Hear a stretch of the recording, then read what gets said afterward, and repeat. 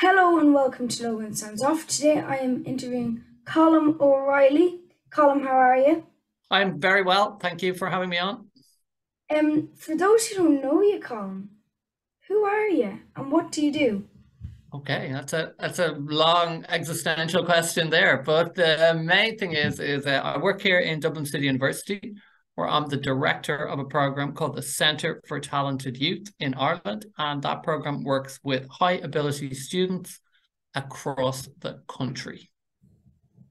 Brilliant. And for those who might know this or don't know this, I actually attend CTYI, and it's it's brilliant. And um, but for those who don't know about CTYI could you tell us a little bit about that as well? Yeah, of course. So um, it's a really nice program. And um, we kind of find that what we do is we're based in a university, so we are have access to facilities that people in school may not have. So we offer courses to students who are good academically or good at school or interested is another thing in subjects that they may not be able to take in school. So that might be stuff like forensic science or medicine. Yeah. Or veterinary science and marine biology. Psychology was one that I was looking at going, wow.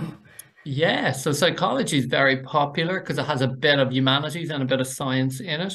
And then we have courses like engineering and maths, of course, and then on computer gaming and app design. And then for people who like the humanities more, we have like things like debating or Model United Nations or writing courses. The great thing about these type of courses is, is that we've lots of students on them. So there's a lot of variety and it can be driven by what the students are interested in as opposed to us saying oh this is what we think you should learn.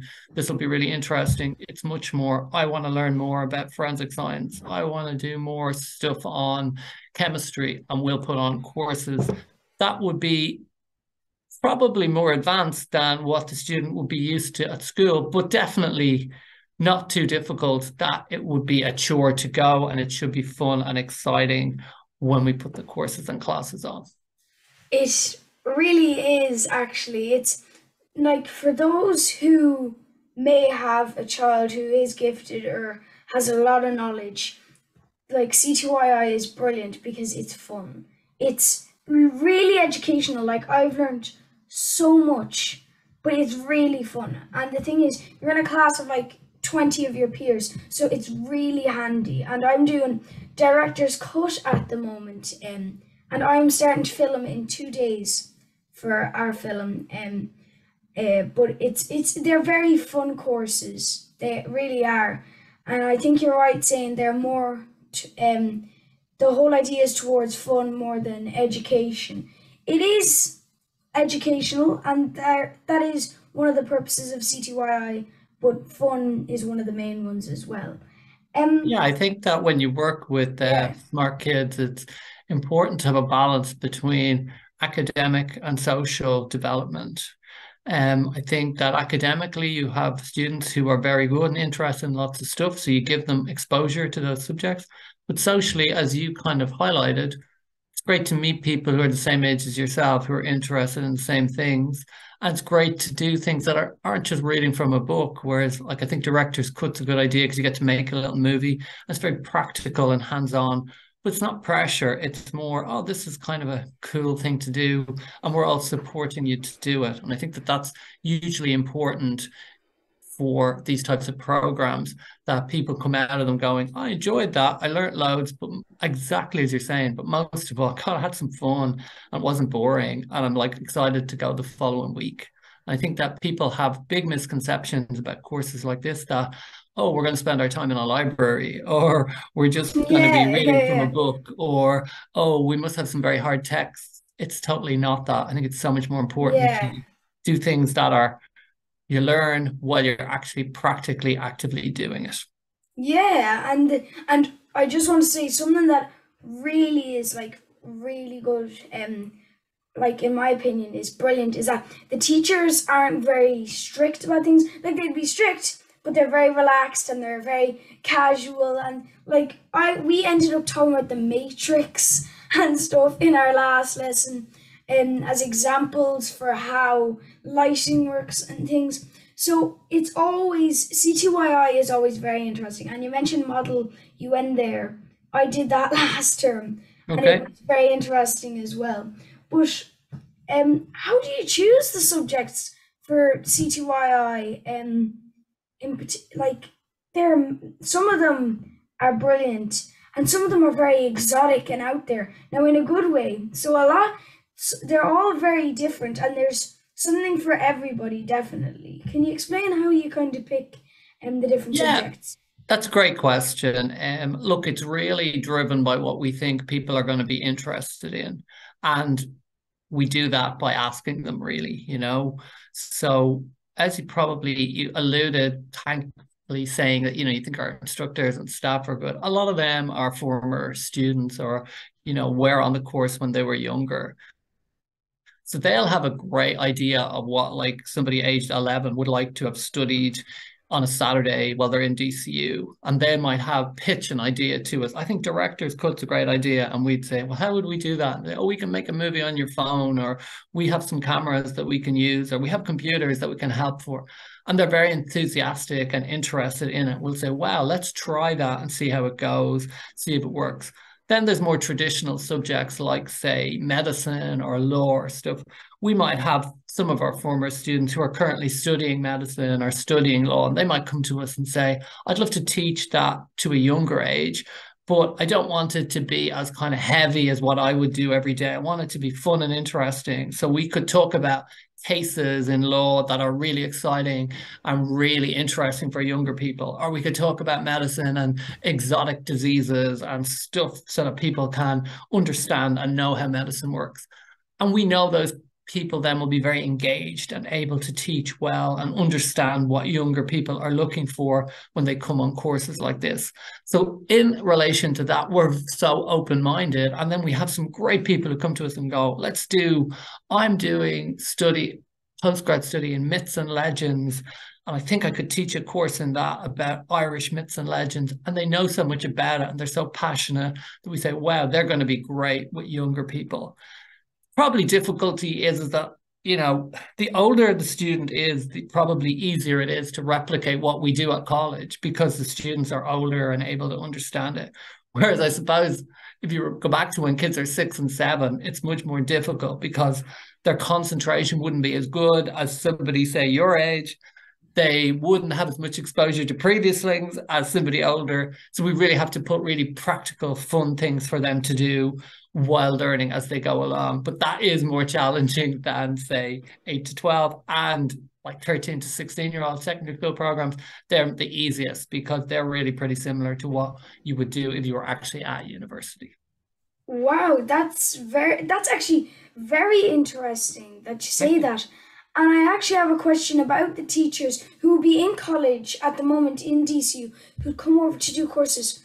Would like I can't wait for Saturday, this Saturday, and um, for the time that I'm recording. But would the teachers be looking forward to it as well?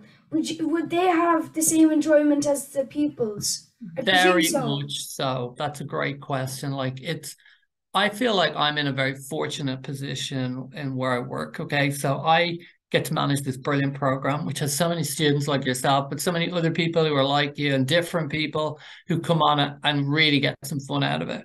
But I also get to manage like a staff of teachers of about maybe 60 or 70 people. And they are the most like enthusiastic, passionate, interesting people that you could ever meet. And they really care about their subject and they really care about people liking it and making their class as interesting and entertaining as possible. And they'll chat to us about how they can achieve that and we'll help them and facilitate them, but they're driving it greatly. And probably the best teachers are ones who may have worked for a year as a teaching assistant as you see them in your class. So they're observing other teachers doing it, they're learning as they're going along, and then they're coming to us with their own ideas to make something as fun as what they just were working with, and sometimes even better. And as I said, former students who've been on the program when they were younger are probably the best resource we can have because not only do they understand the content? They also can empathize with why people would come on a course on Saturday. And as you said yourself, you're very enthusiastic and looking forward to it. They get that rather than, oh, I just it's another Saturday job. I have to go in and yeah. like working in a shop. I can't wait for it to be over. They're like, wow, they've got loads of people who are enthusiastic and interested in what they're talking about. So they wanted to be the best experience for those people because they were those people when they were 10 and 11 themselves. That's really interesting. And I thought in my head, something that I only said a couple of days ago is that you can have somebody who's researched and researched and researched on a project, but only if somebody's experienced it firsthand can you get the real proper information. And I think that's very interesting. But you said there are former students would usually be teachers. Um, CTYI um, has been going on for 30 years. Would we know anyone who has come out of CTYI that might be famous or very popular at the moment? Okay, well, I think our most famous student is Evanna Lynch. Evanna Lynch was Luna Lovegood in the Harry Potter movies. Oh, yeah! So yeah. Evanna came and it's actually a very good story. She was just cast in Harry Potter before she started coming to CTYI, but her sisters had attended. So the movie that she was in was just about to be released while she was on the program. So she was hugely popular, people knew her, but she was so the very interesting thing, and I really like this about Evanna, would have been that she really loved the course she was on and really loved the program and was really into CTYI and like was going for the weekend to premieres of the Harry Potter movie over in the UK. They were flying her over, but she was as enthusiastic about the course she was studying at CTY when she came back. So that was really, really nice. Uh, so she's kind of thing. A lot of other people are people who like, you know, uh, would work in politics now, or maybe in the media, or maybe in companies related to, you know, engineering or computing and stuff like that. So they're, I think they're doing very well and they're kind of establishing themselves more and making great contributions to the field that they're in. And I think that that's great. I don't even think you have to be like, obviously, look, Ivan is very famous, but I think that to me, it's great when you have people who are brilliant in their field and are making a real kind of a contribution to it. And I say that like obviously because I work in a university, so field is like field of research or academia, but it doesn't even have to be that. It can be like, you know, you could want to direct a movie yourself when you're older. You might want to be a doctor and become like a really famous surgeon. You might want to be an engineer and start your own company to do a problem that you perceive that the like say helping the environment that isn't being done at the moment and it's not like we can do that for you but we can kind of sow the seeds to get you interested to do that so that you'll do it yourself and that'll make you so much happier in your job because it'll be something you're passionate about and want to do and that's why it's fortunate that we get these incredibly talented students like yourself when you're younger but also staff members when they're like young and enthusiastic about their careers and want to do a lot of stuff. And then subsequently, they'll go on and do great things. So I think it's really, really nice. Wow, that's a brilliant answer there. And I love the term you use there, sowing seeds. I, I definitely think of that as kind of like nearly um, a motto nearly for CTYI. They sow the seeds of young people. That's basically what it is. Um, and I'd like to shift gears actually, and from Go CTY ahead. to a whole different matter. Um, as you might know, um, I like music, but something that I wanted to intertwine with CTYI here is, um, does music benefit children in any way? I definitely think so. Uh, I think music benefits everybody in some capacity, obviously. Uh, be it like as you said yourself, you like the guitar, you like to play it. Yeah. Like that you said it's not that easy, so you have to work at doing it. That's a brilliant lesson for everyone to learn. You know, I think that if you did something and it was too easy to do, it takes the value away from it. But if there's something you have to practice and do better, and you get better at by working at it, that's a lesson we really want to learn, not just for guitar, for everything you ever do in your life. So that's brilliant. That music is important as well. Like if you think of it, every single big occasion I'm sure you've ever been at has had some music at it. There's music yes. at confirmation. There's music at your at weddings. There's I'm singing for a confirmation actually now. Great, congratulations. And I think as well at Christmas, we all remember like Christmas carols or Christmas concerts or you know, everybody likes going to stuff where oh, you don't even have to be able to perform it yourself or do it. You can appreciate the value of it.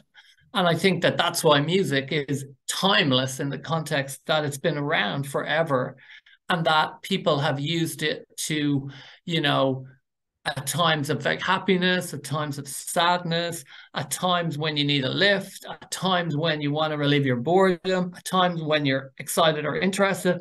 I just think it's fantastic as a kind of something that people can have access to, be it as their career in some instances, but also just as a hobby or a passion or an interest. So I totally encourage uh, people to get involved in it. Sometimes it helps people study. Sometimes it helps people get their mind off other things. I, I just think music is a fantastic thing, and it's there's so much of it and so much variety. There's something in it for everyone. Wow, I completely agree with you on that. Good. That music can suit every single mood. And this leads me on beautifully to my next question. So I like the lead ins. Um, yeah, it, I, it's brilliant when you get a lead in like this. Um, as a child, what kind of music did you listen to growing up? Yeah, like that's a really interesting question. It was funny because I was thinking because obviously I've listened to your podcast. I'm really interested. Obviously, most people on it are more musical than me. So uh, yeah, really like I think it's very interesting. So I suppose I've thought a tiny bit about it, right? So I would say like I like I'm old, obviously, right? That's that's a, don't that's say good, that about yourself. Sometimes that's a good thing because it gives you experience. Yeah, true. So I'm happy with it. I'm reconciled yeah. to it, you know. So I would have been born in the 70s. Okay, so it's interesting when I think of music now and the ease of access we have to it all the time. Like obviously I have Spotify and Apple Music. I have like literally every song that's ever written at my disposal instantaneously if I want to listen to it. Whereas in the 70s, I would have been like I was the youngest in my family. So my brother would have listened to like Led Zeppelin and Yes Thin Lizzy and, and the Ramones. Okay. So that was very guitar-y bass stuff, you yeah. know. And obviously he's 10 years older so he was a child and that was like the music at the time you know? So i would have thought that was like i probably would have learned to appreciate that laterally in life. At the time that was like old people playing guitars. I didn't really like it was a bit loud for me. Yeah. So was a bit like i don't know that like i could hear it but like it wasn't quite what i wanted to listen to. And my sister she would be like more and nearer in age to me. She was into like a lot of that indie music of the 80s stuff, like starting yeah. with gas stuff, Madness and the specials. Yeah. They were really big. So I used to like them and I could like those videos were really interesting for its time, was way ahead of what was previously coming out. But it was around then that I really started getting into like I was in secondary school in the 80s. So I would have been into like Simple Minds and bands like that because they were kind of big bands at the time. Yeah. But I would have probably preferred, as I got latterly older, you know, the Smiths or Echo. The Smiths are brilliant, yeah. A lot of those 80s indie music that was really big in the scene then. But then, like, you know, it was at that age, you're getting older. Like, I went to Simple Minds in Croke Park in 1986. No way. So that was like, and that was one of the, like, U2, of course, as well, would have been quite influential because I'm from North Dublin. They were kind of starting out around that time. So everybody, like, obviously, you know, people have a little bit of a jadedness related to U2 because they have so much longevity. But it was very exciting at the time that they were like, on English TV and selling records. And like Pride was being released And you know, when you think that's such an iconic song, and it, like people hear it, so many things, like it's kind of weird. I was trying to think about, you know, I remember it when it came out originally, Yeah. and having that kind of a, it was obviously a good song, but a sense of pride. You know, there was an Irish band on top of the pops, and it was big at the time. So that would have been, they would have been influential. I always would have liked them and tuned in and out to them in relation to them, particularly when they're from North Dublin, where I'm from. So that was kind of good. Uh, then in the 90s, I would have been into like, um, I would have really liked bands like the Stone Roses. I would have liked, yeah. I would have liked James. I would have liked the Happy Mondays.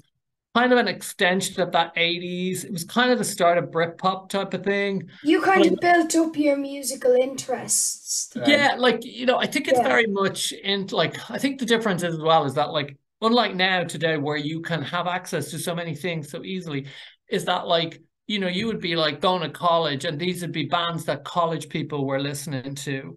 You know, I mean, when you're in secondary school, people were like, oh, everybody's listening to this band in secondary school, and even in college, you know, you'd have certain bands who would be like the Cranberries, for example. I remember they played like a university disco in the 90s No way. that I was at, you know, and it was so like, you know, they that's how they would have built their following and stuff. And it's quite like, you know, it's very good, it's very interesting, but if you know, it's much more interactive than say downloading it now or just clicking Yeah. it up and listening to it. So from then I would have been would have liked that in the 90s. Then around going into 2000s and stuff like that, I would have liked, you know, early Coldplay and stuff like that. Yeah. Travis and things. You know, again, I always like these kind of like bands before they became too famous, you know. Yeah. So All like when bands they that aren't became like, famous are brilliant. sorry? I think that a lot of bands that aren't famous are very good. Yeah, but I think the problem is they get too good and then they get too famous and then they start like becoming too anthemy. So and like and it is I'm not like snobbish about it. I don't like I have certain friends Yeah. are like I don't like that band because too many people like them. I, I No, Yeah, you're not like that. I bit see weird, like- exactly where you mean. Yeah. I'm not like that, but I have lots of my friends are like that. I like them before anyone else liked them. And then when other people started liking them, I didn't like them. Now, I would more think that's connected to their music became more mainstream and Yeah. more generic that other people wanted to think. And that so that that to them made the reason they liked them in the first place different. And look, everybody does that. Trends. Yeah, like it's very difficult to make a living, sustained living, unless you're actually selling the records. So I assume Yeah. that you, you know, you can be great and selective about who you want to buy it, but I think at the end of the day, you'll probably take everyone if you can. So that would have happened thing. So now I'm currently like, here- like I'm moving towards more recent. My two favorite bands at the moment are The National and Arcade Fire. So the National Oh. the National, I really, really like. They have like they're kind of an indie band from America. They'd be kind of middle stream, but they've been around for 10 years. They've had five or six albums. They're really good. The lead singer has a baritone. They have a kind of a like haunting melody type uh, voice. They've headlined a few things. They're playing in Dublin in the 3Arena, I think, this year. Haven't seen them in a couple of years, so I'd like to see them. And Arcade Fire, I'm sure you've heard of Arcade Fire. They're huge, big obviously again like that they're a good example of what I was talking about earlier. I used to like them before they were popular because they were a big indie band, but I actually think they're a band that like has kind of evolved as they've got bigger, Yeah. has got better. Rather than going down from being good, they're going up. That Yeah, because well, of the you following, it's encouraging them to get better. Yeah, and if you look like there's so many members in the band and they're all seasoned musicians and professionals and they utilize they're very good live, so they use that kind of like atmosphere. But I do think that some of the music they're producing is very interesting.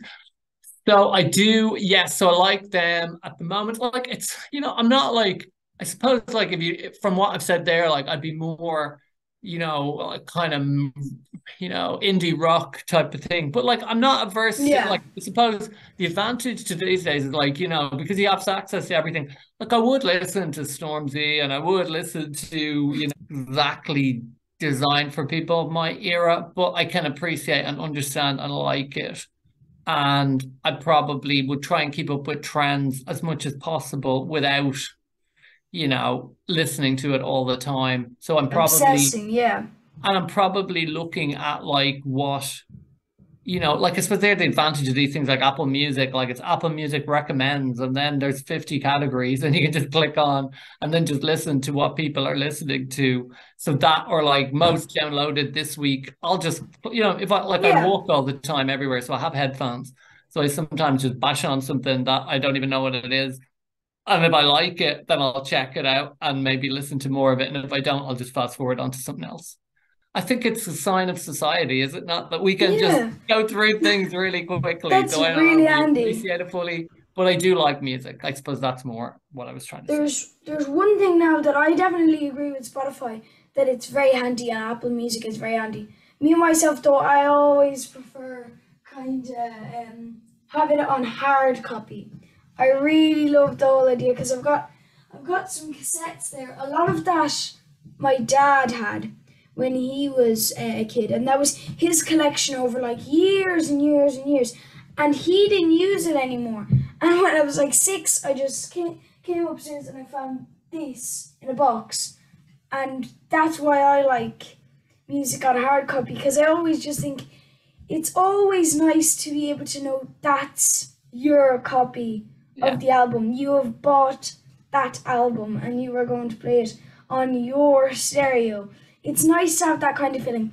It's weird, like I like when you think about it, saying to yourself, I bought spent ten euro buying an album that I could listen to on a streaming service for free, yet it's still I still get way more enjoyment out of it. But yeah, I do see what you mean about music on Apple and stuff. Yeah. Yeah, I I totally agree with what you're saying. I think that that shows you care more about it, you know, and that it's passionate in relation to that. And that's important. I just kind of find that now, you know, as you get older, the more convenience helps. Mm-hmm. So therefore, I just got a bit lazy. Whereas I would have had a great. It's okay like CD collection, drug tapes as well. Oh my god, yeah, wow. But I do, I suppose, yeah. Like I, I like. I think it was very interesting because we used to like put tape recorders up to the TV and stuff like that to record things. And yeah. like when you think of how crazy that actually sounds and like how low hook quality that must have been. A small piece of plastic called a VHS tape to a television to record something. Yeah. It it does sound mad, but it's something that a lot of people can connect to and a lot of people have yeah and like again i think it ties into what you just said there it, like if you did that means you care enough to, to record it. it exactly. it becomes yours there and then you keep it and it it's important to you so i think that that's that's good thing and i think that those things are I, am a big believer in you know yeah. things that are of value to you that have nostalgia associated with them because they mean more to you, and they might be possessions or they might be memories or it might be things you've written down. Like photos, totally, nearly. Yeah, photos, yeah. and I, I totally encourage people to do that because it makes it more personalized and it gives you a nicer sense of memory of that occasion and I think that it's important because I think in this, particularly in a very consumer age that we live in, we do so many things that we don't value them as much. Yeah, and I see what you mean that you care about certain things when you tape them. And I actually have a t- I have the case of a tape somewhere where I recorded literally a play off the radio. Okay. Called Wine from Greenland that I loved listening to it the first time, um, and it was like, like that's a mad play. But um, I actually ended up the second time getting out a tape as fast as I could, sp- like spilling all those tapes, all those organized tapes, all over the ground, trying to find a blank cassette tape to start recording. Um, but I can definitely see what you mean, and I've actually got as my final question a bit of an odd kind of question um, when you um, kind of look at it um, with the other questions. But this particular question is actually about another um, love of mine is reading. And um, you have a couple of courses on reading, uh, creative writing, and the wizarding world, and Harry Potter, book versus film, things like that in CTYI. But I wanted to ask, what kind of books did you read growing up as my final question? So could you just explain what kind of books you read growing up? Yeah, of course. Um, I, I it's funny. I would definitely think I'm a much better reader now than I used to be when I was younger, and most people are the opposite in relation to that. Most people are, I don't have time to read anymore, or I don't read as much. I find that like I've definitely read a lot more as I've got older.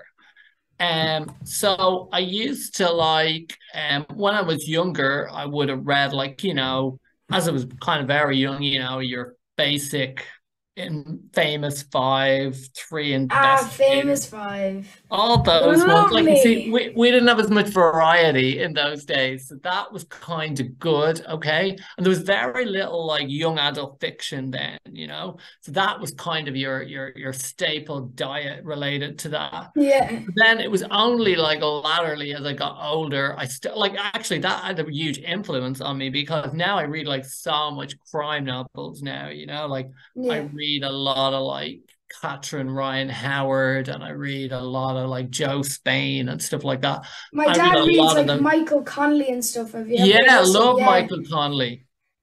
Yeah. That Um, series is very good. I really like that. I like Ian Rankin, people like that. I like a good crime novel. And then now uh, somebody got me a present. Like now I'd be kind of hard to please because I have a lot of stuff and I like, you know, I have lots of my own and things. So somebody got me a present about two years ago of a subscription to Audible, which was like a book a month. And I walked Yeah. to work and I thought that was absolutely brilliant because I love now listening to an audiobook on the way to work because it would probably be one that I wouldn't normally buy and I kind of like go and listen to it. So I listened to like David Mitchell reading his columns from a newspaper, and he's really funny. Or I listened, I'm currently listening to a book called Act of Oblivion, set in the 17th century, about the hunt for these people who killed the king in that year. It's kind of historical fiction. I kind of like that. So again, that'd be a book I'd never normally buy. But now it's Yeah. on Audible and I'm listening to it and I'm walking, I kind of got into it and gripped by it. But any kind of crime novel I really like at the moment, particularly modern. I read one there recently, um, which was like all the book was transcripts of emails. And I thought that was like so cool as a different genre. It's like, mad, but it's brilliant. I've read a couple of books where like part of it is like in the middle of the book, uh, in Wonder by R.J. Palacio, I think. ah, yeah, And yeah, there's an email transcript on Facebook and text messages between Augie and Jack and uh, uh, some parents and Mr. Tushman and things like that, all in the one part. And I really actually enjoyed that particular chapter because it can be very interesting. I yeah. yeah. I think I like the kind of mixing of genres and stuff like that. And then it's a good sign that like you know you have to keep concentrating to keep the different medium together and to kind of understand and relate and read them. So I, I love that type of stuff. I love I like actually you know my favorite at the moment. I love um who I know somebody who I bet you brought all his kids books is I love Anthony Horowitz. Oh, I started reading Stormbreaker by him, um, and I loved it. I I actually his books are so popular; they're always out of stock. Easton when I tried to buy his books, so I couldn't.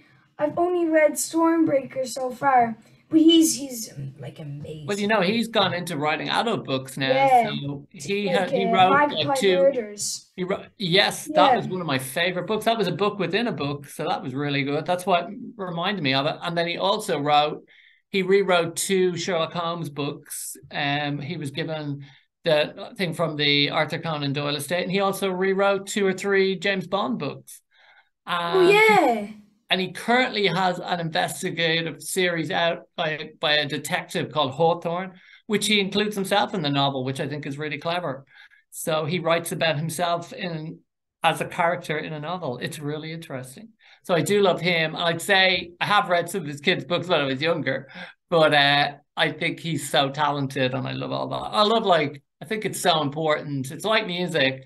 Reading is so important in the yeah, context of giving you something different and taking your mind off stuff from work and then just realizing how brilliant these authors are because it's just something that I just like I would think to myself I'm good at a lot of stuff. I like writing. I like reading. I like stuff. Wow I just don't think I could ever write a novel as that yeah. from start to finish that would be so It's engaging and it's interesting. actually really hard to write a yeah. novel. I've started writing a book at the moment. I'm working on it at the moment called Finn, and I'm 70 pages into it. It's it's quite hard to write a novel. Um, and the thing is, I did no planning for it. I just went straight into it. Yeah. But it's but the thing is, I don't it's think all- it's supposed to do yeah, that. it's it's very it's very goofy though whenever I'm doing it because it's it's never right. So I think, oh God, that's the best part of what I've wrote today, and I go back on it a month later and I go, what the what in the name of God? Okay. Looking back on it, um, so it's always very very funny, um, for me. But yeah, it, it's it, it definitely would be very hard to write a whole book from start to finish. Like there's a book here actually, um, called uh, Until the End by a guy called Derek Landy, and this thing's like 650 pages. Pages, yeah. This thing is like it's mad. Like this book. He's a very talented though, I have De- Derek Landy's very ni- good and like a very nice man, but when it comes to being an author, it's like how what mind was he in to create this character? It's it's very. I think it would be very hard for him to write books, but he writes like a book a year.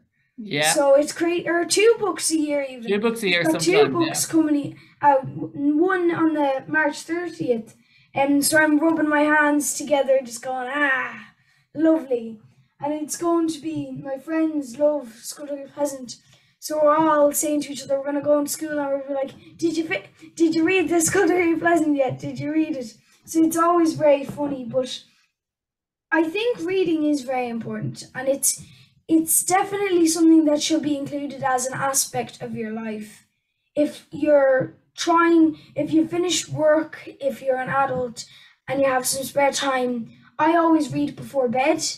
And um, if I'm reading something like this, sometimes it's not that heavy. But if we're reading something like what I'm reading at the moment, the one series by Morris Gleitzman all about world wars and stuff, that can be a bit heavy going Heavy. to bed. But so I don't really read that too much before bed. But reading is definitely something that you need to keep in your life, and it can be very helpful as well. You definitely know that yourself.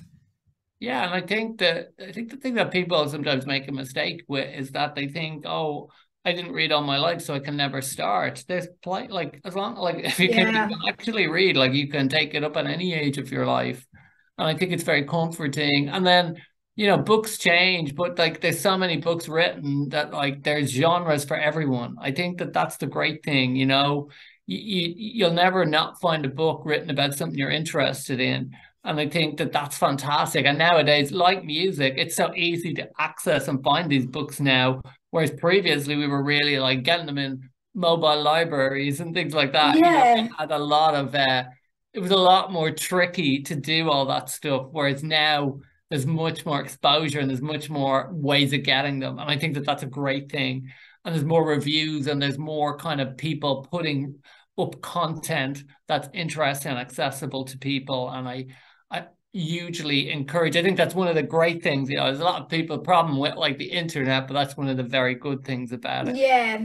It's the accessibility That's- of these things. like to be honest, um, like I wouldn't read, and like ebooks, and I would listen to books. Well, most of the time, but yet I would still encourage using audiobooks and stuff. And I think of them as a great invention. Yeah. And when you think about it, for some people they don't like it. A lot of people do. And like I I like audiobooks as um and ebooks because they can be very helpful. Um but yeah, they, they, they can be used a lot throughout somebody's life. Absolutely. And I think it's great when you have somebody really exciting reading them who you know or like, and then they're reading them, you're really interested in what they're saying. You feel like they're in the room with you. I think that that's Yeah. really good too. Yeah. And so I like, yeah, I do like a good audio book. Um, and again, I always feel it's a good thing to balance it between if you're reading a exactly you kind of touched on it there. If you're reading one book, you should be probably listening to an audiobook of a totally different genre so that your mind is kind of different. Yeah, so because like um if I was to like I always find it very hard to listen to um something while thinking about a book or something. So that's why I would usually, uh, sometimes I would stop a book and put it away and maybe read another book for a little while, but I would never read two books at the same time. Okay. That could, that I find that very odd, but yeah, I'd never read two books at the same time. Yeah, I don't know how pe- I know people who do three or four at the same time. I just don't know how they do it. Oh god. My sister is unreally good at that. Wow. Um, But then she'd read about seven or eight books a week. So uh, fair yeah, enough. I see. Like I, I, it probably if you're just reading the I- same one, it wouldn't yeah, be as exciting. I, I'd be putting in this a lot of hours like into reading. Not, and I'd always tell people it's not because I'm forced to. It's because I love reading. yeah, I good love for you. the stories. Like the Morris Gleitzman books that I'm reading, I'd be reading them daily, like a book a day. That they're so good.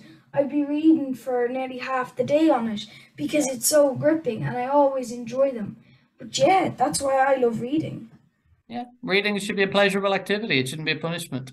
Exactly. Um, well, that about wraps up all my questions, and you have answered them all beautifully, Colm. So I'd just like to say thank you for joining me on Logan Sounds Off. It's been such a pleasure to be able to talk to you.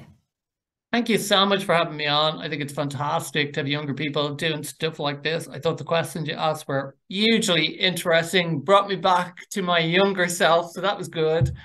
Um, You're still in your younger self. Don't yeah, in my mind, in my mind, the, in my mind, but maybe not my body. Okay, so in relation to that, I totally encourage you to continue to do it. Um, I think it's a really great activity for you, and I like I not not in a way of like, oh, it should be a kid. Like you do it so well and professionally, so you definitely should continue doing it at the level that you're doing it at and evolving and learning from doing it. I think that's it and also keep up with the music and with the reading. I think that both of those things are so helpful. And you know, there's just like without being, you know, this is definitely that I'm getting older, but like there's not as much people doing that anymore. So I think that it's great that as a role model for young people who are interested in that type of stuff, it's great to be passionate about it, to talk about it. Because then somebody could be just listening to you going, yeah, you know something, I'm going to go and read a book now because it's okay.